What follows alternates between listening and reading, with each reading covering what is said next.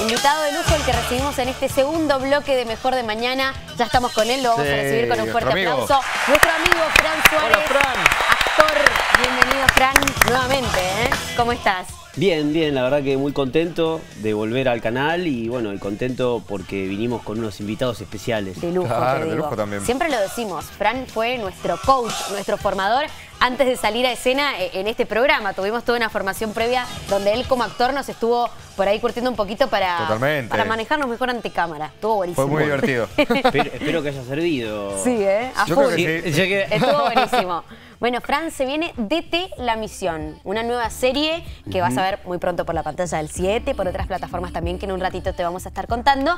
Y lo interesante es que parte del rodaje se dio acá en la provincia de Mendoza. Sí, sí, eh, específicamente en Guaymallén, eh, específicamente más en el Club Atlético Argentino, Muy bien. que conocido como el Boli. Sí, El vóley. claro. Este, así que sí, estuvimos ahí de dos semanas, bastante intensas, que completan gran parte del rodaje, que empezó una parte en Buenos Aires, porque la ficción tiene que ver la historia de, de un, de un tipo que arranca en Buenos Aires y termina en Guaymallén. Ajá. Y nos queda un pedacito por filmar ahora a fin de mes, que es en Bolivia.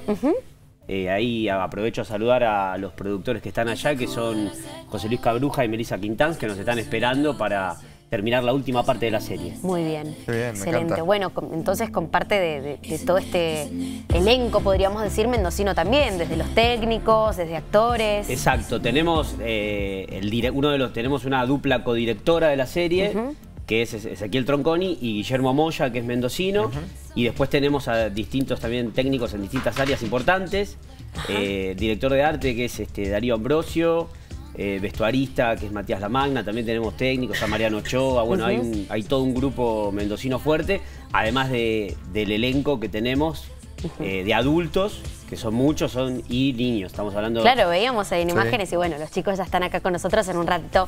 Los vamos a presentar para charlar con ellos que han hecho su debut como actores y, y actriz también, ¿no? Alguno, uno, uno no. Ah, muy bien. Eh, los demás entiendo que sí hicieron su. Ajá. No, y hay otro que no. Porque Dos- vienen dos del a- ámbito del deporte los Claro. Sí, eh, Claro. hicimos un casting ahí en- con Guaymallén, que es el Ajá. municipio que apoya este proyecto. Eh, y bueno, nada, fue un casting arduo porque necesitábamos eh, pibes y pibas que actúen. Pero que jueguen bien pero a la que jueguen pelota. a la pelota. Claro. Entonces, bueno, también era, era encontrar. Doble un- desafío. Sí, sí, eh, y realmente lo- los eligieron los directores, obviamente. Yo también quise ver porque me, me interesaba quiénes iban a ser y bueno, di mi opinión y estuvimos debatiéndonos bastante porque eh, los chicos tuvieron unos días muy intensos, era mucho eh, y además eso, digo, de golpe, y, y lo hilo un poco con el elenco principal. De golpe a los chicos les tocó actuar con Fabián Vena, con Esteban Prol, Claro. con Laura Zimmer. Qué linda experiencia Eh, para lindo. ellos. Entonces, y con figuras ah, del deporte esto, esto es algo que pasó muy gracioso. A ver. ¿Qué cantaba la hinchada? Y esa era- la Macarena. Esa era una especie de... Ahí va. Sí, estaba re loca la hinchada esa. Fabián Vena. Fabián Vena. ¿Qué es Eh, Fabián Vena. No, me encantó. Hay que hacer la reversión. Esa era, esa era la hinchada de ficción de padres, ahí estaba también actores mendocinos, estaban ahí María José Elmelas, el Coyote Lemos. Sergio Martínez, estaba ahí. Es la hinchada de los padres ¿no? de la ficción te encanta. que hinchan por los niños. Este, sí, la verdad que pasaron cosas muy graciosas en el Bueno, rodaje. además de estas figuras eh, de la actuación, también del deporte, ¿no? Goico, entre otros, se sumaron Bueno, para, exactamente, para actuar. ¿Cómo, está- cómo les fue con esto? ¿Habían actuado antes? Eh, bueno, con, con el Goico para mí es muy especial porque, te digo, nada, eh, que lo hablábamos con, con amigos y amigas de la generación mía. Yo tengo 38 años eh, y yo el, el Mundial 90 fue el primero que vi. Claro. Y yo en, en esa época era Maradona, mis ídolos, Sí. Superman y Goicochea. Claro. Claro. A ese nivel. Evidente. Entonces, Bonito. juntarnos, ahí está, el glorioso tema Sí. del estate. Eh, bueno, y lograr eh, encontrarme con el Goico al principio para, para proponerle trabajar conmigo, lo cual era una situación muy loca. ¿Ustedes dos son los protagonistas? Sí, de alguna manera eh, el, el personaje del Goico, no lo, no lo quiero spoilear mucho, pero sí, es un, es- es un coprotagónico medio especial que hace. eh, porque él a- aparece de una forma medio fantástica en la ficción. Ah, mira. La ficción es una comedia, es un camino del héroe eh, con ciertos tintes fantásticos. Eh, y el Goico es un personaje fantástico que está en toda la serie. Bien. En primero y en el último capítulo más. Ajá. Y después en el devenir de toda la serie va acompañando al protagonista. Perfecto. Fran, recién caminito. hablabas de las distintas locaciones que usaron, Buenos Aires, Mendoza, próximamente Bolivia. ¿Por qué eligieron Mendoza? ¿Qué les atrajo de la provincia nuestra? Eh, en realidad, eh, Mendoza eh, para mí es, eh, digo, no, no es como que la, la elegí, digamos. Está, Mendoza está muy ligado a, a mi quehacer, inicialmente desde que llegué acá al Teatro Independiente y después del Teatro Independiente acá fue donde yo me animé a intentar hacer la primera ficción, que lo logramos, que fue Mendólogos. Eh, y entonces un poco repetimos el mismo esquema, ¿no? En Mendólogos, la segunda temporada con la cual ganamos el Martín Fierro, Sí. Sí. eh, fue con el municipio de Guaymallén. En uno de los capítulos, casualmente, que estaba Fabián Vena, se metía de golpe el boli como una cuestión temática, que era un capítulo muy divertido, de un actor que no podía llorar, que era Fabián Vena. Eh, y bueno, medio que lo, que lo que hicimos fue repetir el esquema de Mendólogos la segunda temporada e ir con, con los aliados y, y los lugares que, en este caso Guaymallén, que vimos que las cosas funcionaban y que Claro. las podíamos hacer. Eh, digamos, la elección viene por ese lado y, y estoy muy agradecido al municipio porque realmente con todo esto que ha pasado a nivel nacional, internacional, la pandemia en el medio, esto mm, eh, estaba hace cuatro años para hacerse y en un momento parecía que no se iba a poder jamás. Y de golpe se pudo y es en gran parte porque Guaymallén se puso la camiseta, también el club se puso la camiseta y pudimos sacarlo adelante. Qué lindo decir, se Eso. puso la camiseta cuando es una serie de fútbol. Claro. Ay, es como que cuadra todo. Sí, Fran, ¿y se portaron bien ellos, los invitados de lujo que nos has traído hoy? Sí, sí, se portaron bien, pero yo a veces tenía que decir, basta con la pelota. que claro, ganar". Se porque son deportistas ellos. Bienvenidos los chicos, ¿cómo están? Bueno, ahí tienen los micrófonos, queremos que vayan presentándose para conocer a los mini actores que tiene esta serie. que Los vamos a acompañar, claro. La Misión con estos actores de lujo, yo me voy a poner por acá. Bienvenidos chicos, ¿cómo, ¿Cómo están? andan? ¿Todo bien? ¿Todo bien? ¿Quién va a arrancar presentándose? Nosotros. Dale. Ustedes, muy bien, la señorita. ¿Cómo es tu nombre? Yasmín, me llamo Yasmín. Bienvenida. ¿Cuántos Jazz. años tenés, Jazz? 12. 12, Perfecto. pero muy bien. Jugadora del fútbol. Sí. ¿Del boli? No. ¿O de qué club? ¿En dónde jugás, Jazz? Eh, por ahora en ningún lado. Ah, muy bien, pero te encanta jugar a la Sí, pelota. sí, me encanta. Muy bien. Muy bien. Excelente. ¿Y cómo, cómo es tu personaje, Jazz? Mi personaje para mí es un- una niña apasionada por el fútbol Muy bien.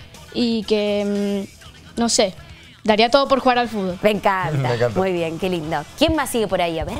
Yo, Bienvenido. yo me llamo Franco. ¿Cómo eh, estás, Fran? ten- Muy bien, tranquilo, por suerte. Sí. Pero yo me llamo Franco, tengo 11 años y, y bueno, estoy agradecido con, con Canal 7 por llamarme y, y bueno, por elegirme. Ah, esta- hablale bien al micrófono, Fran, así te podemos escuchar bien. Ahí. Ahí, Ahí está, amor, perfecto. ¿Y te no, gustó la experiencia? escuchamos. ¿Te gustó grabar? Sí, una experiencia tremenda y, y bueno, agradecer a Canal 7 y a todo el elenco que gracias a ellos, bueno, nos pudimos adaptar bien y, y pudimos lograr esto de la serie. Muy bien, Claro, me encanta. Perfecto. ¿Quién más por ahí? Eso, háblale bien al micrófono, así que así los toma bien la voz. Hola, yo soy Joaquín Rosales. ¿Cómo estás, Juaco? ¿Todo bien? Sí, todo bien. ¿Qué edad tenés? 10. Perfecto. ¿Y habías tenido alguna experiencia con la actuación o esto fue totalmente nuevo para vos? No, esto es totalmente nuevo. Es mi primera vez y para ser mi primera vez me sentí, eh, fue muy lindo, estuve muy cómodo, una experiencia maravillosa, gente muy buena y no, cosas muy bonitas que se pueden decir de, de esta experiencia. Se han sentido Futuros actores. eso es lo importante. Futuros claro, ¿quién te dice? claro. ¿Quién te dice que hayan descubierto una, una beta ¿Viste? ¿Les gustó? vocacional? Y también jugador de fútbol. Eh, sí, arquero yo. Ah, Ah, muy bien. bien. me encantó. Arquero del SEC, un saludo para, para el SEC. Muy bien, beso grande a todos los chicos del club. Che, quiero saber, ¿qué les decían sus compañeros de fútbol cuando le dijeron, voy a salir en una serie? ¿Qué?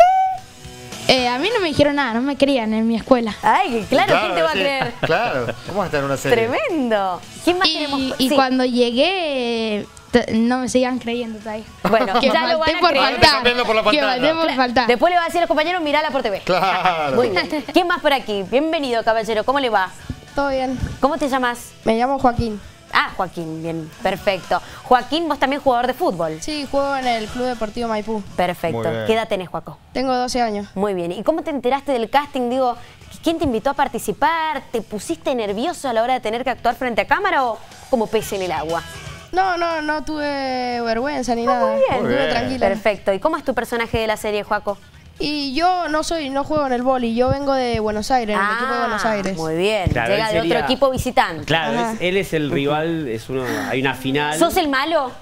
Ay, me muero. Él es El villano. él ¿El villano? El, equipo, eso sí les adelanto, es el, del, el equipo del, del malo, que, que es Fabián Vena. En esta Ok. serie el malo es Fabián. Vena. Muy y él es Ah. del equipo de Fabián Vena. Perfecto, excelente. Y por acá, jugador de hockey nos contó en el corte. Sí. Ajá. Muy bien, ¿en qué Yo club?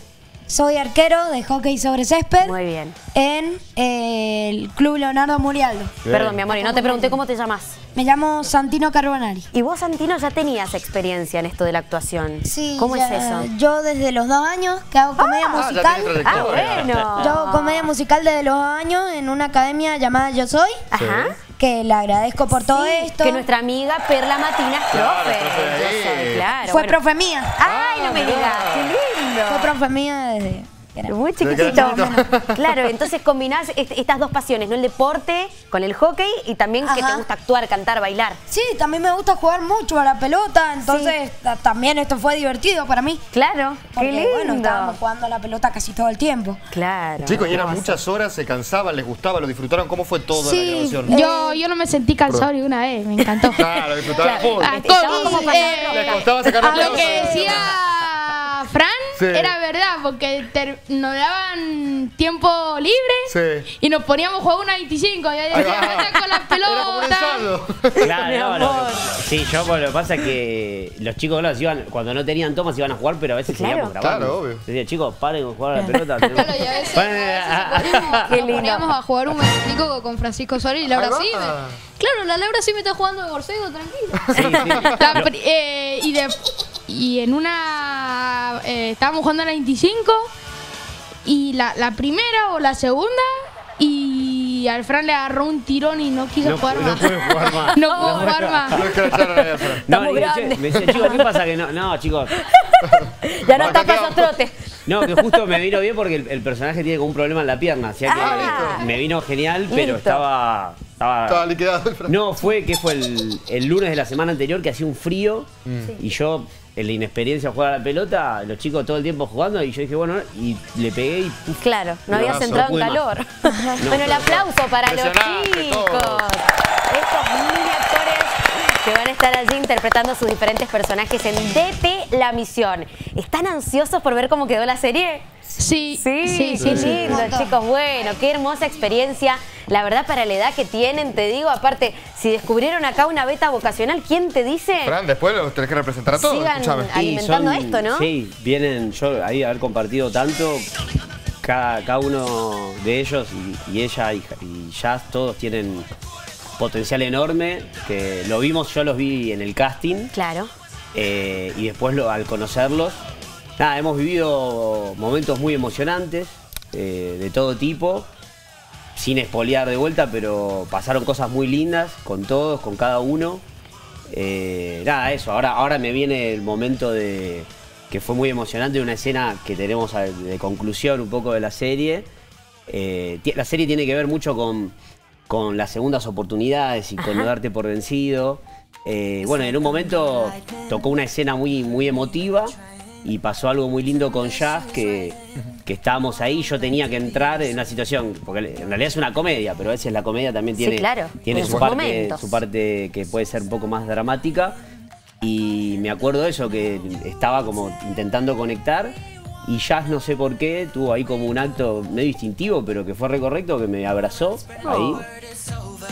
Y ahí tú me conecté y salió la escena. Qué lindo, qué Qué lindo. lindo. Ya la Se verán. genera esa conexión. Todos hermosos, se ve que, que muy apasionados, que se han divertido, que eso es lo importante también cuando son niños, no más allá de esto ser un trabajo que quizás puedan eh, seguir llevando más y más Ojalá, lejos. mirá si tenemos futuras estrellas acá. Claro, lo importante es que.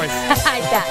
que se hayan divertido, que lo hayan pasado bien. Mira, acá tenemos a todo un elenco de familias también, que es muy importante Bueno, que apoyen a los chicos en estos Eh, proyectos. Eso, eso es vital que, hayan estado bancando, ¿no? que yo lo que yo lo hablaba que que nada, es eso, digo, lo- los hijos son también los padres, ¿no? Obvio, el reflejo de sus Eh, papás. entonces también que, que ellos puedan ser lo que son con tanta capacidad. Ahí está, tiene- mirá. tiene Saluden ver- los papis, están está saliendo en la tele. Muy bien.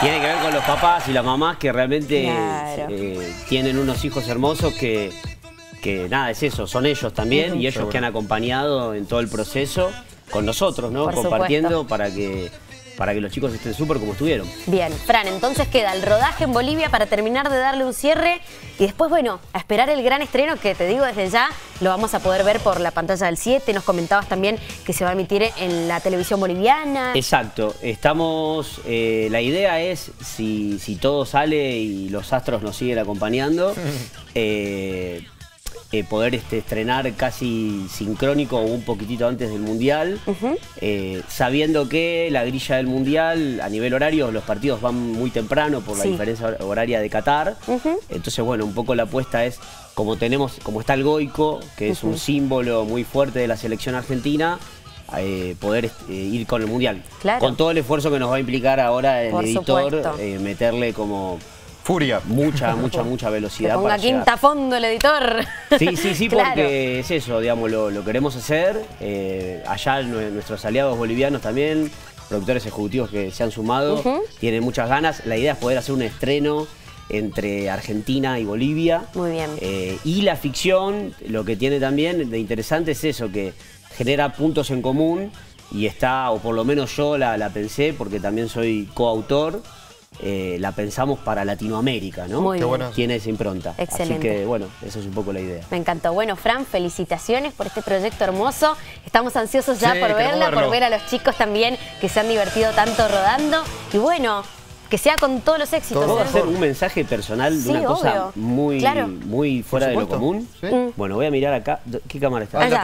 Ahí está. La de la lucecita. Porque me tengo que ir de Mendoza y me queda con una tarea pendiente. Sí. ¿Qué? Así que es, Mela, me voy en unas horas. Si podemos ir a almorzar, te lo agradezco. Ah, muy bien. Un beso. Perfecto. Simplemente quería decir Bien eso. Que seguro te está viendo. ¿Cómo? Que te está viendo. Que me está viendo, sí, espero Muy que me esté viendo. Eso, simplemente eso. Quise hacer, nunca hice algo así, el pero mensaje. quería Muy bien. El mensaje ha sido dado. Fran, gracias. Gracias, Gracias, por visitarnos. mejor. Un placer como siempre. Gracias, Fran.